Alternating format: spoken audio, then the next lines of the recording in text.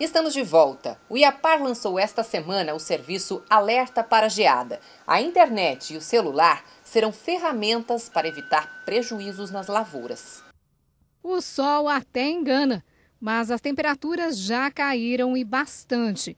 Por enquanto, sem transtornos no campo, mas exatamente porque a época é propícia, o IAPAR reativou o alerta geada. O serviço existe desde 1995 e vai funcionar diariamente até setembro.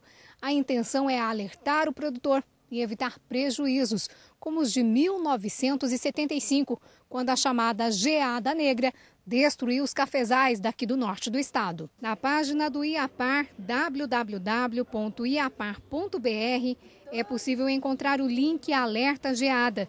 Clicando nele, aparece o boletim diário, atualizado todas as manhãs. Caso haja previsão de geada, um pré-alerta é dado com 48 horas de antecedência. Se for confirmado, 24 horas antes é feito o alerta. Além da internet, o serviço está disponível também por telefone no 3391 4500. Aos produtores cadastrados, o alerta é enviado por mensagem no celular e e-mail. A cor verde simboliza geadas fracas. Já a amarela, mais ao sul, significa intensidade moderada. Se o CIMEPAR avisar que tem a previsão de geada severa, o agricultor, com 48 horas, pode já providenciar o enterrio das plantas novas né? e proteger também os viveiros.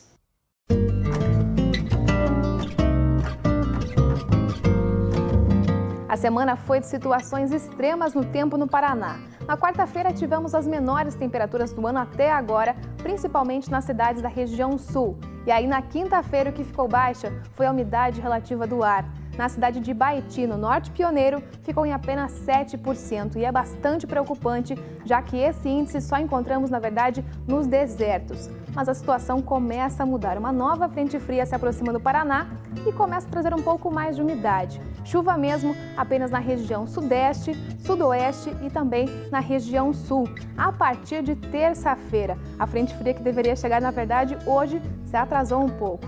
Mas em Cascavel o tempo segue firme com altas temperaturas, temperaturas que subiram desde o início da semana. Hoje o dia começou com 15 graus e a máxima chega aos 26. Chuva então na terça-feira com máxima de 25 graus. Em Londrina o dia hoje começou com 13 graus e a máxima não vai passar dos 27. Por lá o tempo ainda segue seco, com a umidade relativa do ar perto dos 30%. Em União da Vitória, as temperaturas ainda ficam um pouco mais baixas. O domingo começou com 5 graus e a máxima hoje não vai passar dos 23, com bastante sol. E o Tarobá Rural, você já sabe, é sempre produzido de um lugar diferente, como esta linda propriedade em São Salvador, distrito de Cascavel. É um paraíso, né? Pois é, e você também pode ajudar a produzir o Tarobá Rural. Anote aí os nossos endereços. Rua Tarobá, número 6, CEP 85 819 550, bairro Maria Luísa, Cascavel, Paraná. Se você prefere enviar um e-mail, tarobarural@tarobá.com.br. O telefone é o 45 3220 1100 e curta e comente a nossa página no Facebook. Compartilhe, eu espero você. E como hoje é Dia das Mães, nós preparamos uma reportagem especial sobre aquele que é o presente mais clássico escolhido pelos filhos que admiram suas mamães.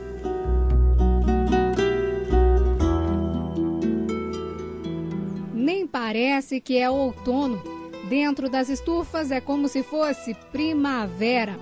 Os vasos estão cheios de flores, um colorido que lembra a estação mais florida do ano. Agora, boa parte da produção se concentra no Dia das Mães. Nesta propriedade, a quantidade tem sido equivalente à do ano passado. Fora a produção normal, que não para, são dois tipos específicos para o Dia das Mães: 20 mil vasos de crisântemos e mais 4 mil de begônias. No caso dos crisântemos, tem os mini e os maiores, uns apenas com botões, alguns querendo abrir, outros já quase totalmente abertos. Flores mescladas, amarelas, rosas, brancas e coloridas, tudo num vaso só. Já a cor viva das begônias chama a atenção de longe. Para quem acha que é muito, tudo isso já tem destino. Floriculturas e supermercados. O cultivo é calculado, ou seja, o plantio foi feito lá em fevereiro para que justamente nesta época do ano as flores estivessem praticamente no ponto. O cultivo de flores e plantas virou tradição de família. Começou com os pais de Sandro há cerca de 40 anos. Hoje, dois irmãos é que tocam a maior parte do trabalho. Flor é o que não falta o ano inteiro. Aqui é como se fosse primavera todos os dias.